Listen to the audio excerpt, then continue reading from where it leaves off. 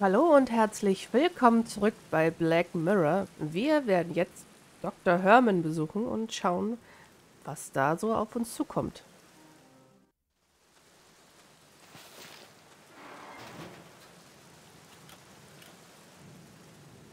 Oh, Mr. Gordon. Ich würde Ihnen einen guten Tag wünschen. Aber heute ist alles andere als das. Was verschafft mir die Ehre Ihres Besuchs? Sie haben gestern gesagt, ich solle vorbeikommen. Lassen Sie uns nicht weiter draußen in strömendem Regen reden. Folgen Sie mir bitte. Besser, oder nicht? Macht es Ihnen etwas aus, mit mir in die Leichenhalle zu kommen? Ich habe viel zu tun. Wir können uns dort unterhalten. Kein Problem. Gehen wir. Vorsicht vor der Treppe. Hier ist es dunkel und die Treppe ist durch die Feuchtigkeit gefährlich glatt.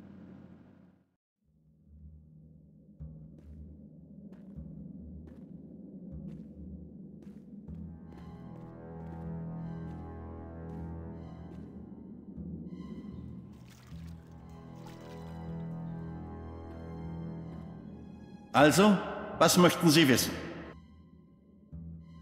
Ich bin gekommen, wie wir gestern verabredet haben.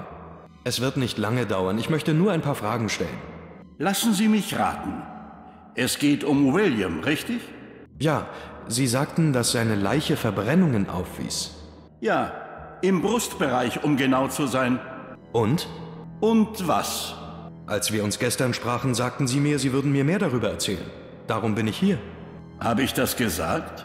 Nun, ich kann nur das wiederholen, was ich Ihnen bereits gesagt habe. Massive Verbrennungen im Brustbereich, verursacht durch einen unbekannten Gegenstand. Ist das alles? Ein unbekannter Gegenstand? Was Sie sagen, ist anders als das, was Sie mir bereits erklärt haben. Ich erinnere mich nicht. Das waren sowieso nur anfängliche Theorien. Ich habe alles im Obduktionsbericht festgehalten. Soll ich daraus zitieren? Das wird nicht nötig sein. Offenbar hat Dr. Herman seit gestern sein Gedächtnis verloren. Warum verheimlicht er, was er mir ursprünglich erklären wollte? Dieser Obduktionsbericht würde mich interessieren, aber nicht in seinem Beisein. Hm. Ich habe mit Inspektor Collier über Henrys Tod gesprochen. Es war unvermeidlich, dass er so enden würde. Er war ein hoffnungsloser Fall. Was meinen Sie damit?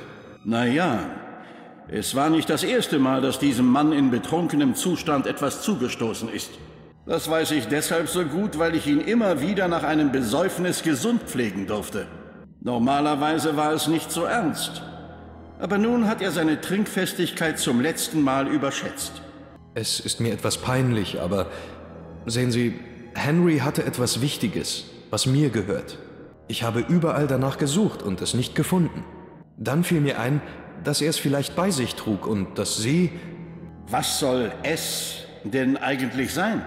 Eigentlich ist es nur ein kleines Stück Papier, aber es ist sehr wichtig, sonst würde ich Sie nicht fragen. Sie wollen, dass ich seine persönlichen Sachen durchsuche? Ich wäre Ihnen dankbar, wenn Sie das tun würden, Doktor. Gordon, dieses Paket gehört zu den Beweismitteln. Ich kann nicht einfach etwas daraus entnehmen und Ihnen geben, solange die Ermittlungen noch andauern. Aber dieses Etwas gehört mir. Das spielt keine Rolle. Bis der Fall offiziell abgeschlossen wird, darf ich Ihnen den Inhalt nicht mal zeigen. Ich verstehe. Danke, Doktor. Wenigstens weiß ich, wo dieser verdammte Pfandschein ist. Ja, also ich kann da Dr. Herman tatsächlich verstehen. Er muss sich halt an die Gesetze halten und das ist ein Beweismittel. Und das kann er nicht einfach rausrücken, auch wenn Samuel jetzt zum Beispiel Geld anbieten möchte. Doktor, könnten Sie vielleicht für einen Moment hinausgehen? Ich könnte meine Brieftasche auf dem Tisch vergessen, wenn Sie zurückkommen. Wie bitte? Wenn ich Ihre Familie nicht so lange kennen würde, wäre ich jetzt beleidigt. Hören Sie, ich weiß, worauf Sie hinaus wollen. Ich habe Ihnen schon gesagt, das Paket muss versiegelt bleiben, bis die Untersuchung abgeschlossen ist. Also vergessen Sie es. Okay. Vorhin hat Dr. Herman irgendwas in den Container geworfen. Das möchte ich mir mal genauer ansehen.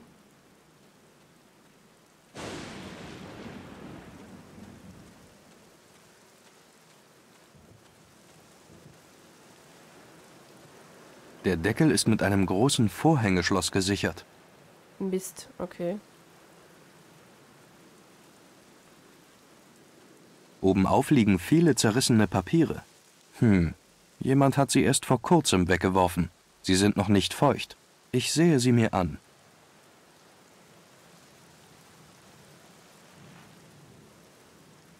Na, ich vermute, da kommt wieder ein kleines Puzzle auf mich zu. Ich hoffe, das wird nicht allzu lange dauern. Jemand hat ihn in Stücke gerissen. Offenbar sollte ihn niemand lesen. Okay.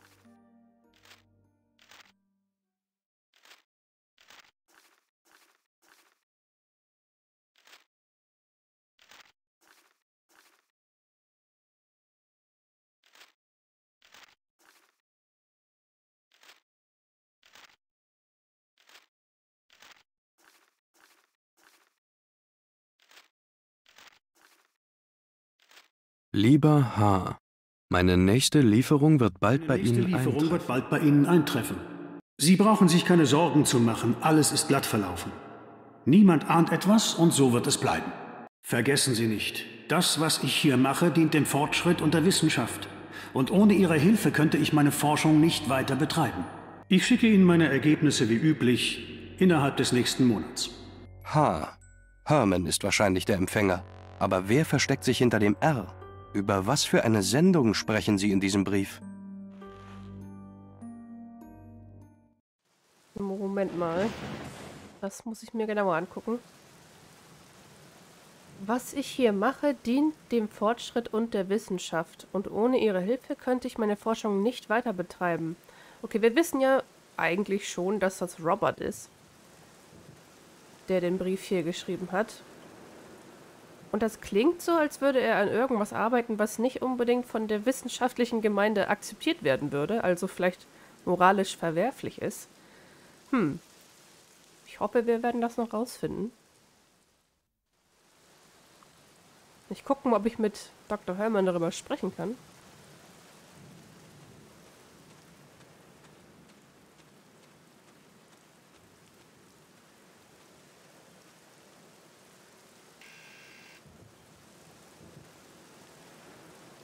Ja? Samuel Gordon, bitte lassen Sie mich herein, Doktor. Ich muss mit Ihnen sprechen. Ja, kommen Sie herein. Ich bin unten in der Leichenhalle.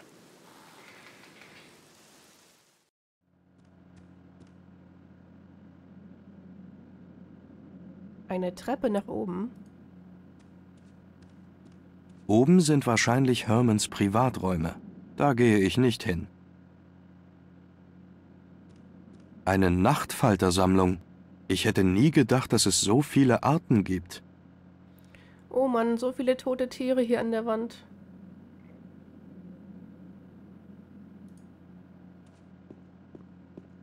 Die Luft hier ist mit einem seltsamen Geruch behaftet. Die langsamen Flügel des Ventilators schaffen kaum frische Luft. Und ein Spiegel hängt hier. Mir ist schwindlig. Hoffentlich habe ich heute Abend keine Kopfschmerzen und kann gut einschlafen. Ein Skelett. Ein menschliches Skelett, das die Halle mit starrem Blick beobachtet, wie ein stiller Wächter in der Dunkelheit. Oh, wer ist denn der Mann hier auf dem Bild?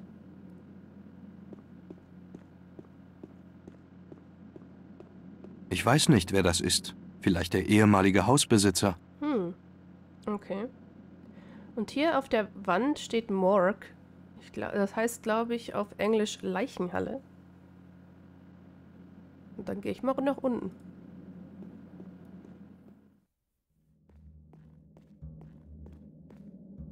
Also ich kenne mich mit Leichenhallen nicht aus, aber ich finde, das ist hier doch sehr schmutzig und ähm, sehr blutig aussieht. Ich weiß nicht, ob das normal ist. Ist schon merkwürdig, aber kann natürlich auch daran liegen, dass innerhalb des Spiels wir uns ähm, sehr weit zurück in der Zukunft befinden. Also 1800 irgendwas. Hier hängen Skizzen. Menschliche Muskelgruppen und Organe. Sie sind lateinisch beschriftet. Es hat keinen Sinn, sie näher zu studieren. Hm. Der Boden ist verfärbt, wahrscheinlich durch getrocknetes Blut. Sie sind leer. Leere Kanister für Fotoentwickler. Offenbar macht Herman die Fotos für seine Obduktionsberichte selbst. Na, vielleicht können wir ja auch unsere Fotos hier entwickeln lassen. Aber das wäre schon sehr merkwürdig. Den benutzt Herman, um die Leichen zu transportieren. Darauf liegen einige blutverschmierte Sachen. Ich will sie nicht anfassen.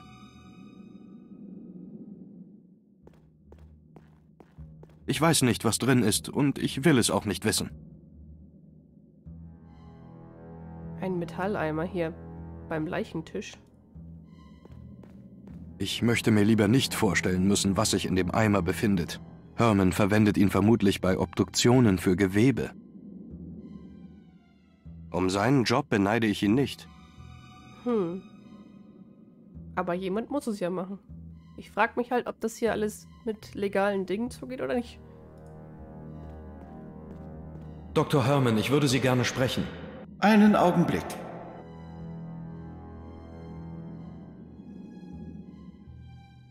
Also, was führt Sie hierher? Mir ist aufgefallen, dass dies auch als Dunkelkammer dient. Ja, ich entwickle die Obduktionsfotos hier. Im Dorf bietet niemand einen solchen Dienst an. Hierzulande ist es fast wie im Mittelalter. Trotzdem, irgendwann gewöhnt man sich daran. Wollen Sie etwa Fotos entwickeln lassen? Sehen Sie, Gordon, das ist kein Service Center für Touristen. Sie befinden sich hier in einer Leichenhalle. Ja, das ist offensichtlich. Ich brauche aber nur ein paar Abzüge. Mhm. Na schön. Aber das mache ich nur als Freundschaftsdienst Ihrer Familie gegenüber. Geben Sie her. Danke, Doktor. Moment. Ich möchte etwas als Gegenleistung. Ohne kann ich Ihnen sowieso keine Fotos machen. Mir ist der Entwickler ausgegangen. Können Sie mir welchen aus dem Dorf bringen? Haben Sie nicht gerade gesagt, dass niemand im Dorf einen solchen Dienst anbietet? Ja, und das ist auch so. Ich habe ein Arrangement mit dem alten Murray. Er besorgt mir Nachschub aus der Stadt. Sagen Sie ihm, der Entwickler ist für mich. Er wird ihn Ihnen gern verkaufen. Gut. Ich komme später wieder. Okay, dann ab ins Dorf. Dann bin ich ja mal gespannt, wie der Murray jetzt so ist. Werden wir den jetzt endlich kennenlernen. Und es regnet und regnet.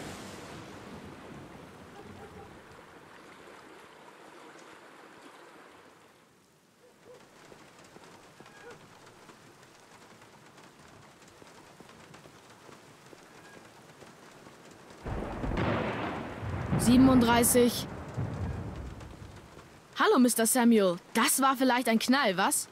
Der zweitlauteste heute, möchte ich wetten. Hallo, Vic. Zählst du die Donnerschläge? Richtig. Warum sitzt du eigentlich hier im Regen? Solltest du nicht lieber zu Hause sein? Mir macht der Regen nichts aus. Außerdem kann ich nicht nach Hause. Nein? Du hast wohl Ärger, was? Tja, es ist das kaputte Fenster von gestern. Harry hat meinem Vater davon erzählt, wissen Sie? Darum habe ich es nicht eilig, nach Hause zu kommen. Oh, verstehe. Ich muss jetzt gehen. Pass auf das Fenster neben dir auf. Ja, mache ich. Ich werfe den Ball auf die andere Seite. Das ist sicherer. Oh, der arme Wick. Ich hoffe, der wird nicht gehauen oder so. Oh. Murrays Shop, Shop scheint äh, erleuchtet zu sein. Dann wollen wir doch mal gucken.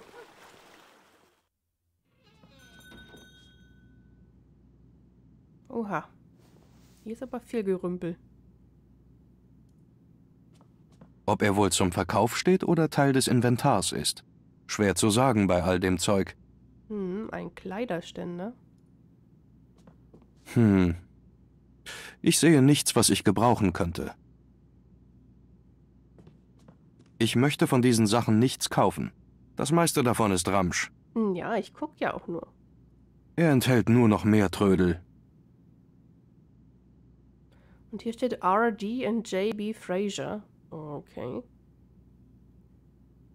Julian Tobacco. Hm. Dann schauen wir uns den guten Murray doch mal an. Murray hat dieses Leihhaus vor etwa zehn Jahren eröffnet. Guten Morgen. Wie kann ich Ihnen helfen?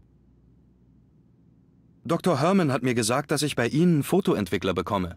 Haben Sie welchen? Sie haben Glück. Ich habe noch ein paar Flaschen. Ich fahre nicht täglich in die Stadt, wissen Sie? Hier ist er.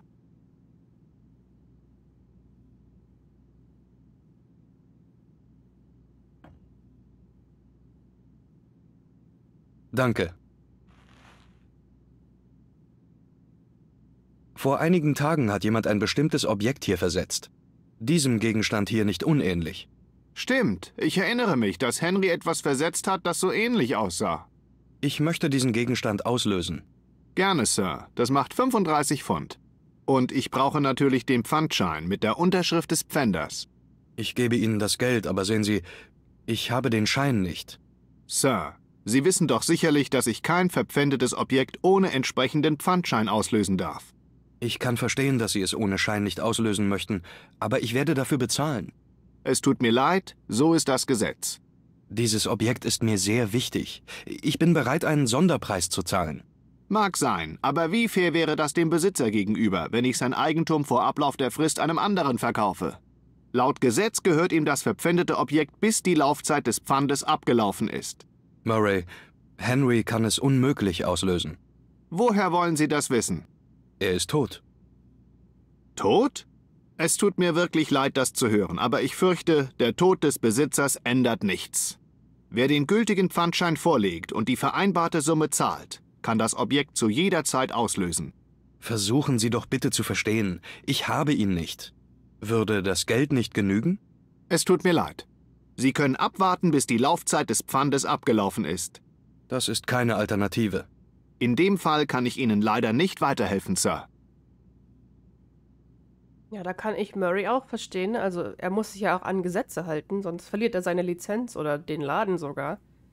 Und nur weil Samuel reich ist, kann er ja nicht irgendwie sagen, dass er alles bekommt, was er will.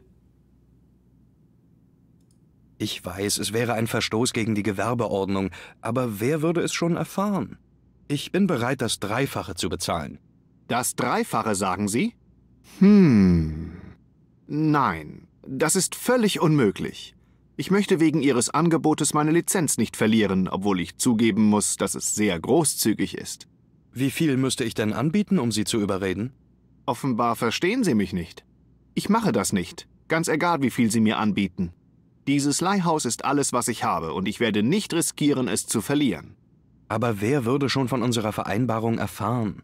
Die Sache bleibt doch unter uns. Tut mir leid. Ich lasse mich nicht überreden. Kein Pfandschein, keine Auslösung. Na schön. Wenn ich Ihnen den Schein bringe und das Geld bezahle, geben Sie es mir dann? Aber natürlich. Hm, ich dachte, er wäre geldgieriger.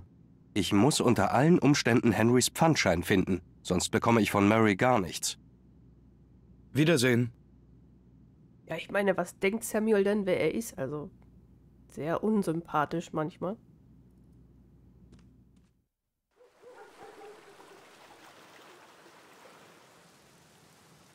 Ab zurück zu Hermans Haus und dann gehen wir mal den die Flasche ab von Murray.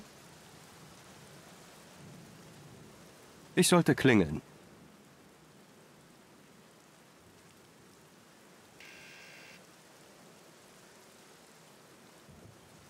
Ja? Samuel Gordon, bitte lassen Sie mich herein, Doktor. Ich muss mit Ihnen sprechen. Ja, kommen Sie herein. Ich bin unten in der Leichenhalle.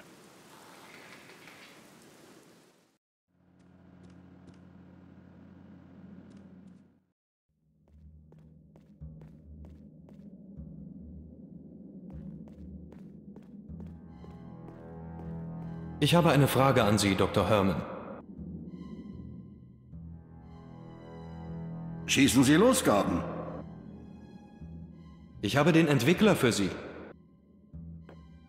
Können Sie jetzt meinen Film entwickeln? Warum nicht? Aber kommen Sie später wieder. Ich muss meine Arbeit erledigen, bevor ich die Bilder entwickeln kann. Was ist an diesem Film so wichtig, dass Sie damit zu mir kommen? Das werden Sie selbst sehen, Doktor. Entweder Sie sind wichtig oder auch völlig nutzlos. Okay, dann werde ich so lange wieder ins Dorf gehen und vielleicht mal im Pub vorbeischauen. Mal gucken, was da so los ist gerade.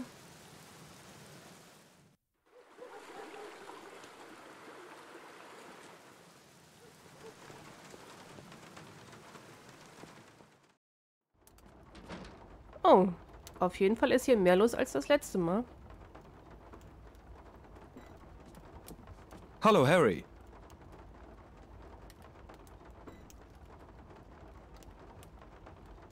Willkommen zurück, Mr. Gordon. Na, wollen Sie einen Happen essen? Wie kommen Sie darauf? Oh, kommen Sie. Ich weiß, dass Bates nicht gerade ein großartiger Koch ist. Es ist gar nicht so schlimm. Ich habe keinen Grund, mich zu beschweren. Na schön, wenn Sie meinen. Erinnern Sie sich an unser gestriges Gespräch darüber, dass hier nie etwas passiert? Aber sicher doch.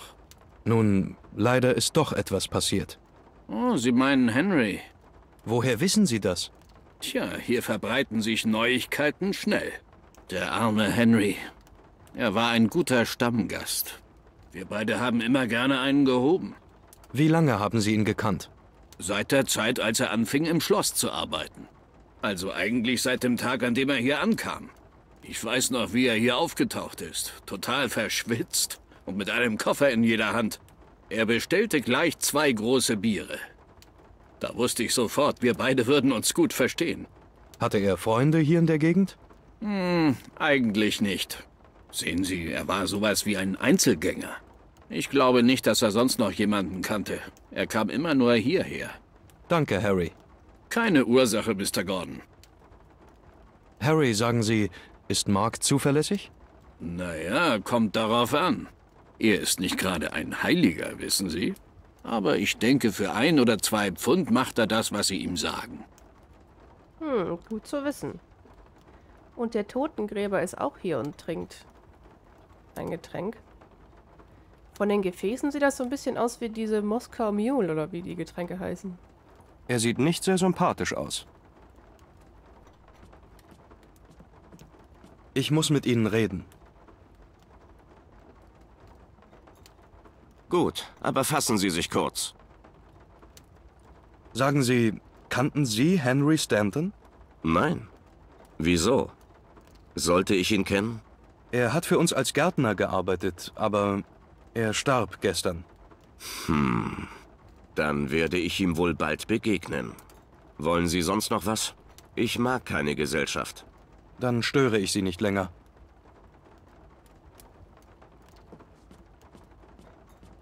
Hallo.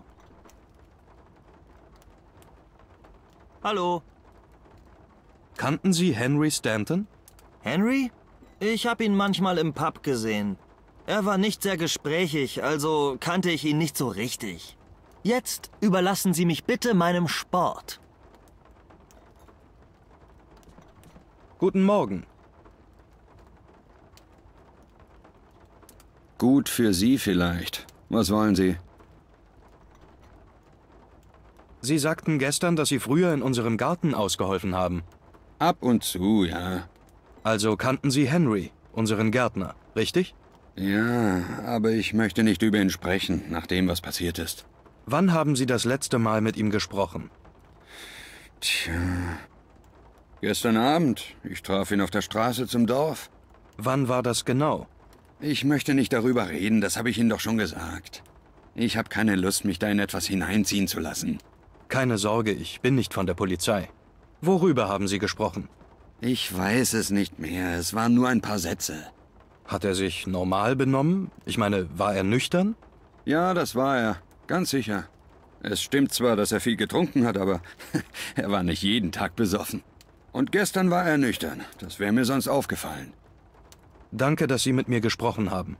Keine Ursache. Also, Henry war am Abend noch nüchtern. Und morgens fand man ihn ertrunken auf. Das ergibt wenig Sinn. Hm. Tom hat mir gesagt, dass Sie gelegentlich für Dr. Herman gearbeitet haben. Tom neigt manchmal dazu, zu viel zu sagen. Ich bin schon seit einiger Zeit arbeitslos, also nehme ich jeden Job an, der mir angeboten wird. Irgendwie muss ich Geld verdienen. Und es ist auf jeden Fall besser für Dr. Herman Erledigungen zu machen, als für diesen miesen Bastard Murray. Nun, ich brauche eine bestimmte Gefälligkeit von Ihnen. Es hat sogar mit Dr. Herman zu tun. Hm. Worum geht's denn? Ich möchte Folgendes von Ihnen. Ich höre. Ich möchte, dass Sie um eine bestimmte Zeit zu ihm gehen und ihn für ein paar Minuten beschäftigen. Klingeln Sie an der Tür und warten Sie, bis er nach oben kommt. Reden Sie über was Sie wollen, aber halten Sie ihn so lange auf, wie es geht. Tja, offen gesagt, mir gefällt dieser Plan nicht.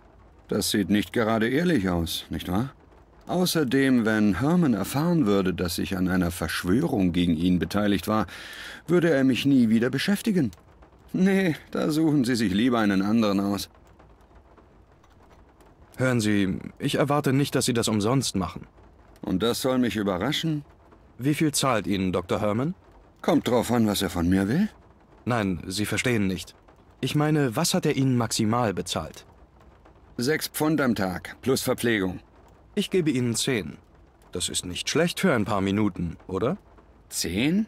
Tja, das Geld wäre schön, aber Sehen Sie, wenigstens habe ich bei Dr. Herman einen sicheren Job. Nein, ich kann's nicht machen. Na gut. Ich gebe Ihnen 20. Das ist mein letztes Wort. 20? Mensch, so viel Geld hatte ich schon ewig nicht mehr in der Tasche. 20 Pfund auf die Hand und die Sache ist geritzt. Zehn jetzt und zehn später. Hm, okay. Um wie viel Uhr soll ich auftauchen? Etwa eine Viertelstunde, nachdem ich den Pub verlasse. Seien Sie pünktlich, sonst bekommen Sie nichts. Keine Sorge, ich bin pünktlich da. Ich bin schnell zum Leichenschauhaus gegangen, um Mark zuvorzukommen. Hoffentlich kommt er pünktlich zur vereinbarten Zeit.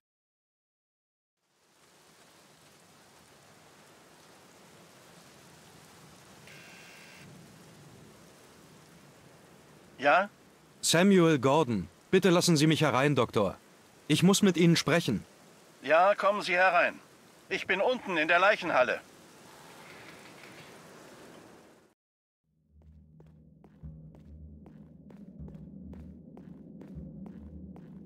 Darf ich Sie einen Moment sprechen, Dr. Herman?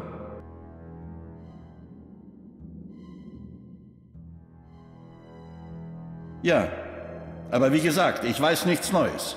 Das braucht seine Zeit. Also, wenn Sie mich immer wieder stören. Nein, nein, ich bin wegen einer anderen Sache hier. Ja? Also. Was wollen Sie denn, Gordon? Ich habe nicht den ganzen Tag Zeit. Wo zum Teufel steckt dieser Mark? Haben Sie etwas gesagt? Nein, sehen Sie, ich habe nur. Wer ist denn das jetzt, verdammt?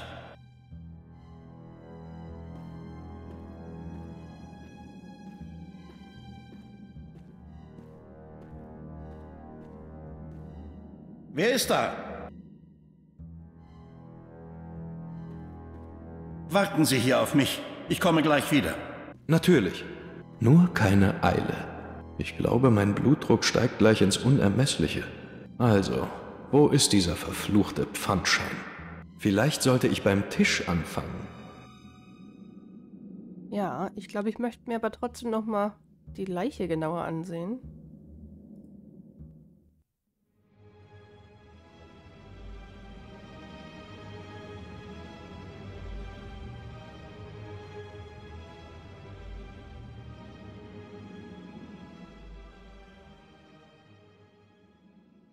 Der arme, arme Henry. Und der wurde schon aufgemacht, okay. Oh, hier hängt ein Schlüsselbund. Der Schlüssel vom Müllcontainer, der vor der Leichenhalle steht, ist an diesem Bund. Es würde mich interessieren zu wissen, was Herman so schnell loswerden wollte. Es muss der große Schlüssel sein. Die anderen sind zu klein. Ich kann ihn jetzt nicht nehmen. Herman würde es bestimmt merken. Hm. Okay. Ab zum Schreibtisch.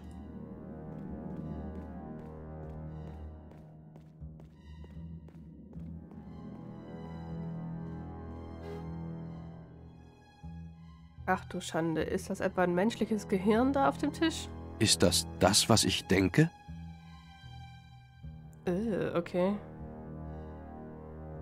Ein altes Mikroskop.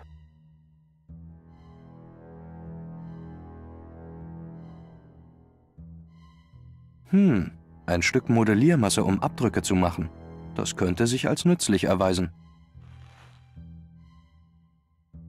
Viele Dinge, aber nichts, was ich gebrauchen kann.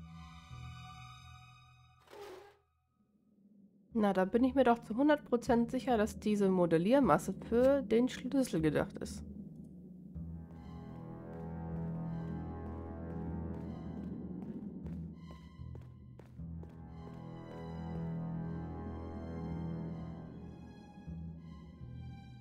Ich habe einen Abdruck des Schlüssels in der Modelliermasse gemacht.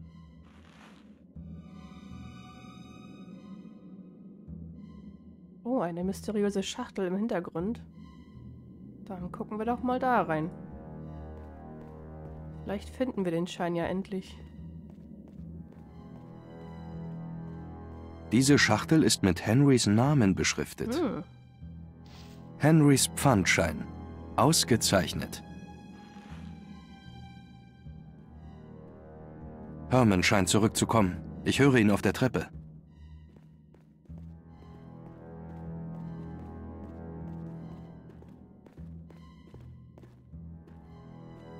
Suchen Sie etwas Bestimmtes? Nein, natürlich nicht. Naja, ich war noch nie in einer Leichenhalle. Ich bin bloß neugierig. Sie haben einige ungewöhnliche Interessen, wie ich sehe. Wovon sprachen wir gerade? Äh, ich habe es schon völlig vergessen. Es kann nichts Wichtiges gewesen sein. Sei's drum. Ich habe sowieso keine Zeit, mit Ihnen zu plaudern. Nichts für ungut. Ach, ich bin es, der sich entschuldigen sollte. Ich will Sie nicht länger stören. Bis dann, Doktor. Wiedersehen, Gordon. So, wir schulden dem Mark noch 10 Pfund. Dann werde ich mal zurückgehen.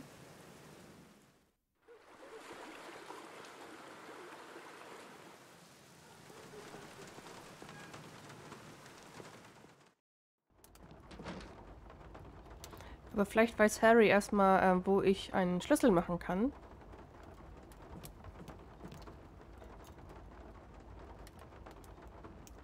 Wie kann ich Ihnen helfen? Ich habe eine Frage an Sie. Harry, Sie kennen doch jeden hier. Wissen Sie vielleicht, wer mir einen Schlüssel nachmachen könnte? Also ich weiß nicht, ob er der Richtige ist, aber Mark hier ist ziemlich geschickt. Fragen Sie ihn einfach. Gut, danke. Hm, der Mark ist ja ein richtiger Tausendsasser. Der kann alles. Darf ich Sie kurz stören?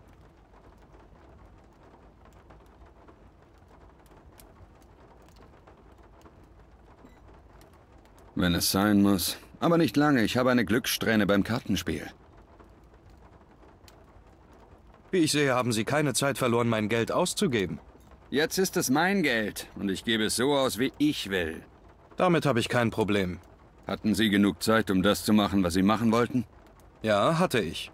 Aber Sie hätten vielleicht auch etwas früher auftauchen können. Was haben Sie eigentlich da unten gemacht? Das geht Sie nun wirklich nichts an. Ja, ich habe damit auch kein Problem. Wenn Sie mal wieder etwas brauchen, wissen Sie, wo Sie mich finden. Ich brauche jemanden, der mir einen Schlüssel nachmacht. Harry sagte, Sie könnten das. Ein Schlüssel ist kein Problem. Geben Sie mir das Original und Sie bekommen in Kürze eine Kopie zurück. Und es kostet Sie nichts. Ich betrachte es als Teil unserer Abmachung. Das Problem ist, ich habe nur einen Abdruck. Ah, das erschwert die Sache. Ich habe es noch nie mit einem Abdruck versucht. Geben Sie her. Sie können das Ergebnis in einer Stunde abholen oder so. Mal sehen, was ich tun kann. Gut. Hier ist er. Bis später.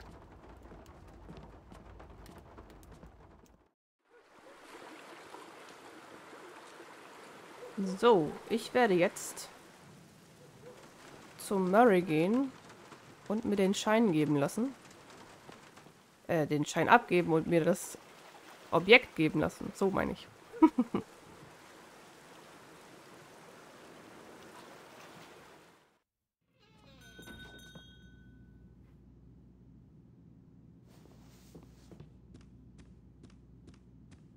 Kann ich irgendwas für Sie tun? Murray, ich möchte gerne das Objekt auslösen, von dem wir gesprochen haben. Sie erinnern sich sicherlich, dass Sie einen gültigen Pfandschein vorlegen müssen. Keine Sorge, den habe ich. Hier.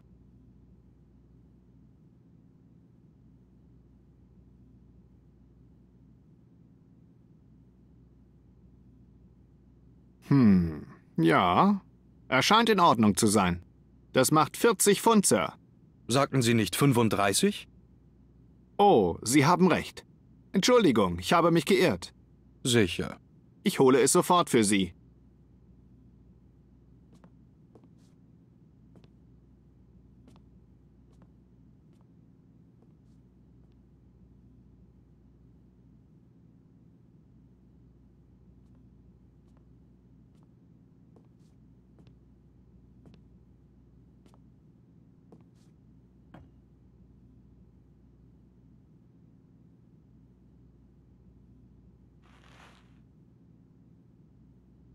Wiedersehen.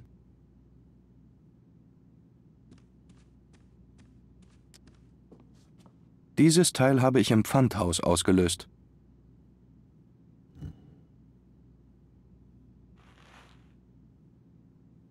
So, jetzt sind die zwei Teile zusammen. Die Teile sind ineinander eingerastet. Aber ich glaube, der Stein in der Mitte fehlt tatsächlich.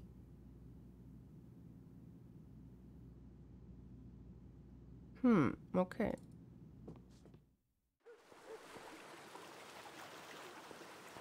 Es füllt sich langsam mit Wasser.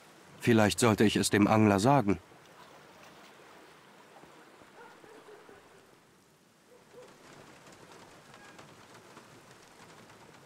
Es überrascht mich, dass Harry ihn nicht zugedeckt hat. Den Wagen hier vorne.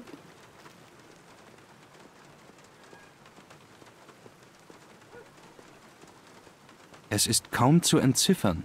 Die Kreide ist verwischt. Ich kann Harry direkt fragen.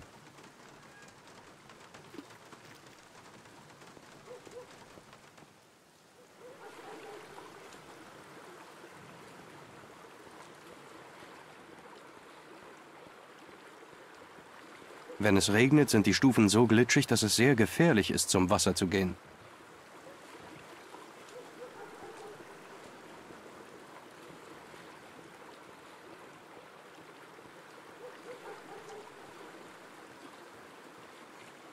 Wollen wir doch mal mit dem An Angler sprechen und ihm das erzählen mit seinem Fischerboot da. Er beobachtet die Wasseroberfläche genau. Hallo, junger Mann. Heute beißen die Fische an. Das spüre ich in meinen Knochen. Wie lange wollen Sie heute hier angeln? So lange wie nötig. Den ganzen Tag. Es sei denn, der Regen hört auf. Es gibt keine bessere Art, einen verregneten Tag zu verbringen. Na dann, Petri Heil. Gehört Ihnen das Boot auf der anderen Seite des Flusses? Es ist wohl leck, eine Menge Wasser steht darin, es wird jeden Moment sinken. Keine Sorge, es ist älter als ich. Aber danke, dass Sie es mir gesagt haben. Heutzutage sind die meisten Leute nicht so rücksichtsvoll. Kein Problem. Ich muss jetzt gehen.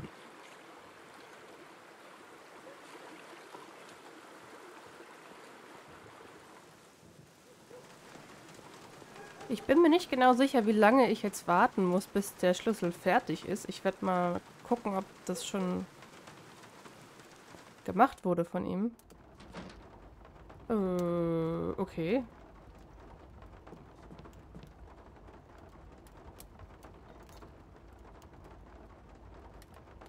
Was darf sein, Sir? Haben Sie Mark gesehen? Nein, er war noch nicht da. Wahrscheinlich muss er arbeiten. Suchen Sie ihn? Hm, eigentlich nicht. War nur neugierig.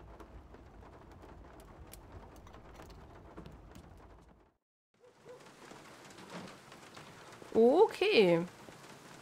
Dann würde ich sagen, sehen wir in der nächsten Folge, was passiert mit dem Schlüssel und dem Container. Vielen Dank fürs Zuschauen. Bis zum nächsten Mal. Tschö mit Ö.